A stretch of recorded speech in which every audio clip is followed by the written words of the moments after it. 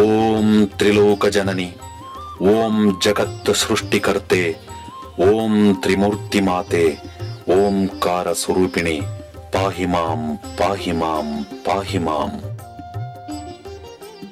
ಜಗನ್ಮಾತೆಯು ಮೂಲ ಪ್ರಕೃತಿಯ ಸ್ವರೂಪಿಣಿಯು ಧನಧಾನ್ಯ ಸಂಪತ್ತುಗಳನ್ನು ಕರುಣಿಸುವ ಐಶ್ವರ್ಯಾಧಿ ದೇವತೆಯಾದ ಶ್ರೀ ಮಹಾಲಕ್ಷ್ಮಿಯ ಪೂಜೆ ವೇದ ಕಾಲದಿಂದಲೂ ನಡೆದು ಬಂದಿದೆ.